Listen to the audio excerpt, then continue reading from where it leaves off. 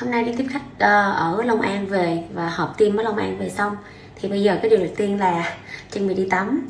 Và trước khi đi tắm thì không quên rửa mặt bằng sữa rửa mặt dạng bột ha. Rửa mặt xong rồi mới đi, đi tắm nghỉ ngơi được rồi mới ăn cơm được. Đây tiền thoa vào lòng bàn tay của mình một tí xíu. Thấm một tí xíu nước vào.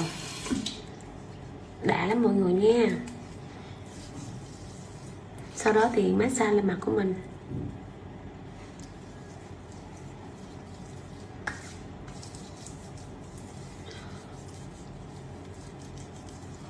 Bạn nào mà rửa bằng sữa rửa mặt dạng bột thì cái da của mình nó thời gian sau này nó không bị dầu, không bị mụn nhé.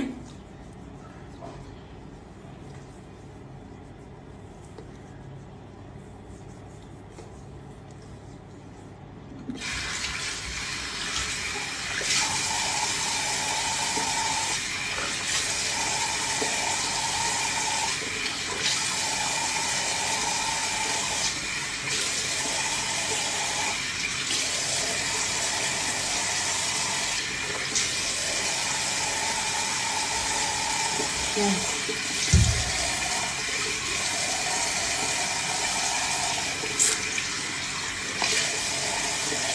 ảo quá.